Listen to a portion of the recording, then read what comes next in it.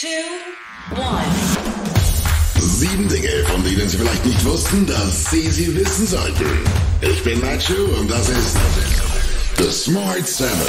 Heute ist Dienstag, der 5. Juli. Es ist Tag des Bikinis. Geburtstage haben Eva Green, Hajo von Setten und Huey Lewis. Das Wetter, heute wird es wolkiger, aber trocken und heiß. In einigen Teilen Deutschlands wird wieder die 30 Grad Marke geknackt. Guten Morgen.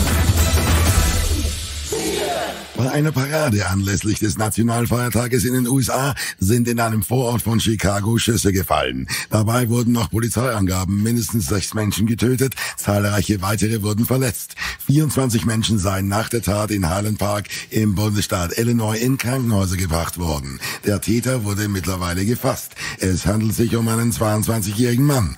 Ein Sprecher des Sheriffbüros von Lake County sagte zudem, es scheine, als habe der Täter von einem Dach ausgeschossen. Eine Zeugin vor Ort beschreibt die Ereignisse. We all went into panic mode. We all ducked down at the beginning, and then as soon as I guess he, because I kind of heard like maybe 10 to 20 shots, and then I started getting really panicky and really like nervous, and then as soon as we didn't I didn't hear anything. I was able to get up and then I grabbed I started screaming out their names and I saw my daughter. I grabbed her.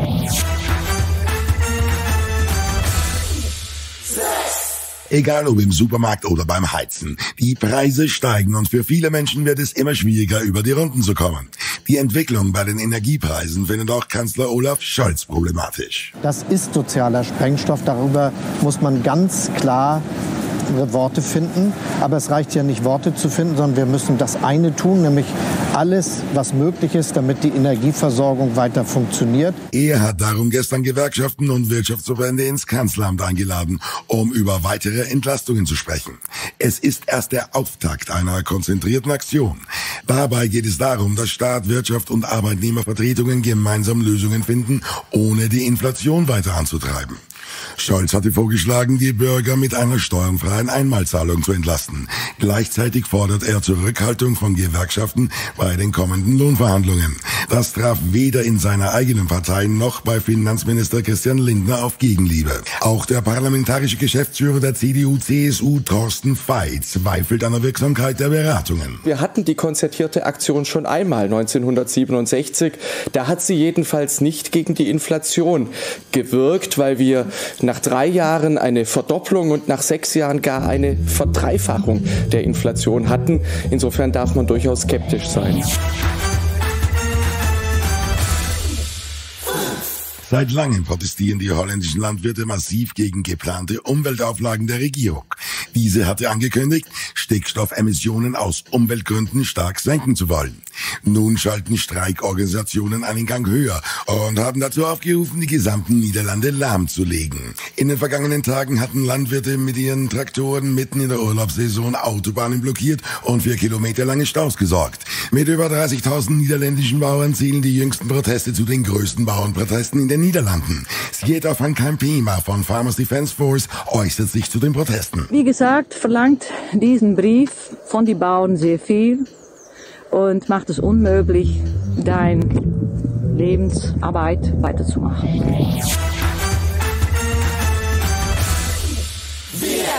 Obwohl Deutschland voraussichtlich auf einen schwierigen Corona-Herbst zusteuert, schließt Bundeskanzler Scholz drastische Maßnahmen aus. Schulschließungen sollte es nicht mehr geben, sagte Scholz. Und auch Lockdowns brauche Deutschland wegen der hohen Impfquote nicht mehr. Anders als der Kanzler möchte Bundesgesundheitsminister Karl Lauterbach auch Schulschließungen im Herbst nicht völlig ausschließen. Ich persönlich glaube, dass Schulschließungen nicht kommen müssen. Ich halte sie für sehr, sehr unwahrscheinlich. Sie wären dann das allerletzte Mittel. Aber sie kategorisch auszuschließen, da wäre ich vorsichtig, weil wir wissen ja nicht, welche Varianten kommen. Und gleich auf den Smart 7. FC Bayern legen wieder los. Die weltweit größte Korallenriff-Konferenz beginnt in Bremen und nach acht Jahren Comeback von Cameron Diaz. Und gleich geht's weiter. Willkommen zurück. Julian Nagelsmann und der FC Bayern legen wieder los. 51 Tage nach dem letzten Pflichtspiel der Münchner startet der Serienmeister die Vorbereitung. Das Go der Stars fehlt noch. Bereits zeigt der Verein schon mal großes Interesse am 17-jährigen französischen Nachwuchsstürmer Matistel von Stade Reims. Gemäß Sky Sport wurden 7 Millionen Euro plus Boni geboten. Bayern will Matistel, sie wollen die besten Talente Europas so einsammeln und das ist einer. Und wir hören auch, er ist für die erste Mannschaft eingeplant. Also er soll wirklich auch äh, beim Profis trainieren, spielen, soll auch Einsätze kriegen. Die weltweit größte Korallenriffkonferenz beginnt in Bremen. Erwartet werden dazu 1000 Wissenschaftler aus mehr als 80 Ländern. Es ist das erste Mal, dass die Korallenriffkonferenz in Europa stattfindet. Eine Woche lang beraten Experten darüber, wie sich die Korallenriffe schützen und retten lassen. Der neueste Zustandsbericht ist alarmierend. Allein in den vergangenen zehn Jahren sind fast 15 Prozent der Riffe in den Meeren ausgestorben. Heinz Krimmer, Sprecher des Korallenriffkongresses, ist besorgt. Es ist das mit Abstand bunteste und formenreichste Ökosystem der Erde. Und wenn man dann sieht, wie sowas komplett zerstört ist, dass alle Lebewesen weg sind, man keine bunten Farben mehr hat, sondern nur, nur noch weiß, grau, braun oder grün, dann ist das sehr erschreckend. Familie statt Karriere. Unter dieser Prämisse zog sich Cameron Diaz 2014 aus dem Schauspielbusiness zurück. Entsprechend überraschend kommt nun die Ankündigung, dass die 49-Jährige vor die Kamera zurückkehrt. Bekannt machte das Comeback Schauspielkollege Jamie Foxx, an dessen Seite Cameron Diaz im Netflix-Film Back in Action spielt. Er twitterte einen Audiomitschnitt eines Telefongesprächs. Hello. Cameron, what up? It's Fox. Hey, What's up? Thanks for calling. I'm so anxious right now. I'm like pacing I know. the room. How do you feel though? I feel excited, but I don't know how to do this, you know?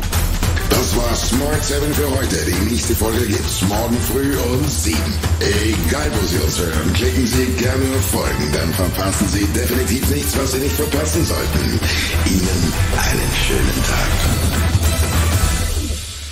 Produced, and published by Jack Doris and Podcast 360.